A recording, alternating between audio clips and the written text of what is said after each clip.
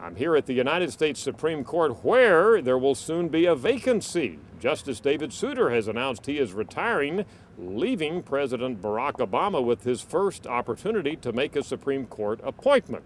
At the moment, there is only one woman on the court, Ruth Bader Ginsburg, and there is a lot of talk and a lot of expectation that Obama will, in fact, appoint a woman to replace David Souter. However, from the perspective of the average American, the gender of the new appointee doesn't seem to matter. 64%, almost two thirds of Americans, in fact, say it doesn't matter to them whether a new appointee is a woman or not.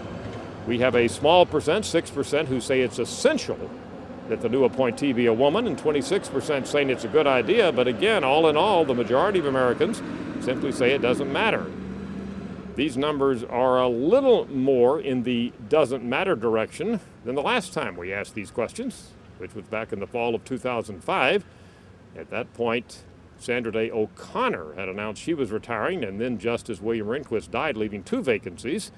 Ultimately, two white males were appointed by President George W. Bush to replace those two justices.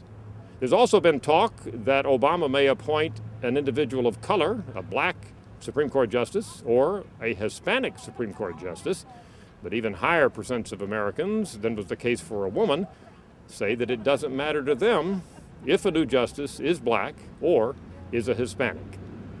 President Obama will be responding to his own beliefs and pressure groups when he makes his decision about who will replace Justice Souter. But as far as the average American is concerned, the gender and the race and ethnic background of that Supreme Court justice who will be appointed simply doesn't matter. I'm Dr. Frank Newport, editor in chief of the Gallup poll.